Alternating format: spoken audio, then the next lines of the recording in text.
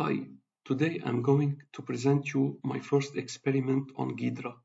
And from the first impression, I saw that it's a very impressive tool. It's easy, simple, clear, and powerful. You will see during the video presentation how great tool it is.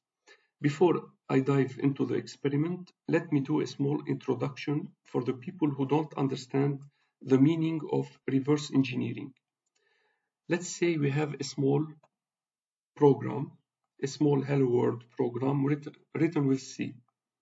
Once we compile it, the compiler will generate an assembly code. And after that, the assembler will convert this assembly code to machine code or bytecode. The bytecode will be executed in the CPU.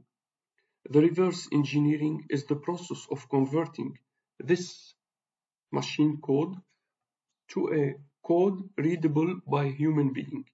For example here, the reverse engineering is the process of converting this bytecode to a C code. To do this task, we need a tool. Our tool is Ghidra. So Ghidra will help you convert a software. Let's say you have uh, an executable, a .exe software. Once you execute it, it will load in memory on the form of bytecode. So it will be loaded in the CPU in the form of bytecode. Ghidra will take this bytecode. So Ghidra, it will take this bytecode and convert it back to C code. So this is our first target in this experiment. Please subscribe to our channel because there is much more experiments to come and subscribe to our telegram where I am giving much more details to the followers and don't forget to like our videos and comment it to help us and to push us to continue in our work. So let's begin. So first of all, we will download uh, Ghidra. Uh, I will leave you the link down below in the description to use it uh, for download and installation. We press download from GitHub.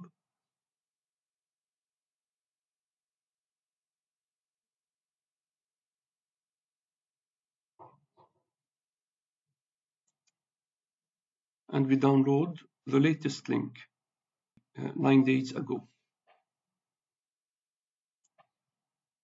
So I will leave it now to download and I will return and I will return back to you.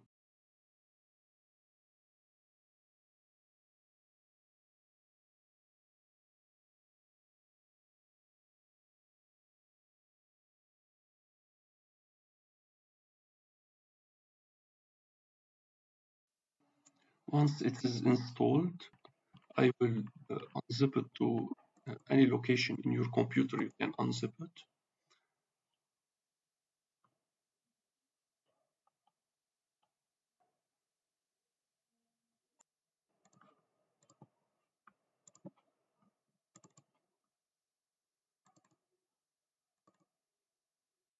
So once you unzip it to your location, you clicked on the batch file .bat and it will run by itself. Let me tell you, if you don't have the JDK in your uh, machine, you need to install the JDK. I will leave you the link to the uh, to install JDK in the description down below. So this is the integrated integrated development environment for uh, Ghidra. This is it. So uh, as I told you, you need the JDK to be installed. I will leave you the link down below. So now we need to create a new project, file new project. I leave it uh, non-shared project. Now I need to uh, uh, to specify the location of my project. So I will make my project here and I will create a folder for this project. I will call it RPC technology and I will name it the compiler underscore one. And our first project is now created.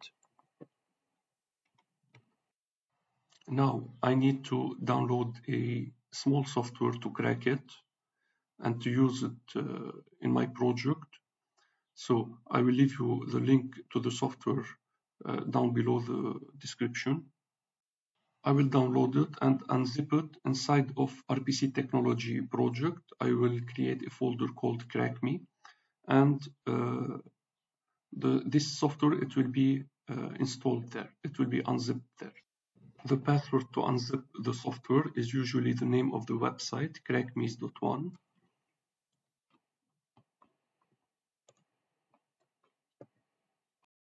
So now let's import this software file import file and I will go to the location where I unzipped this software.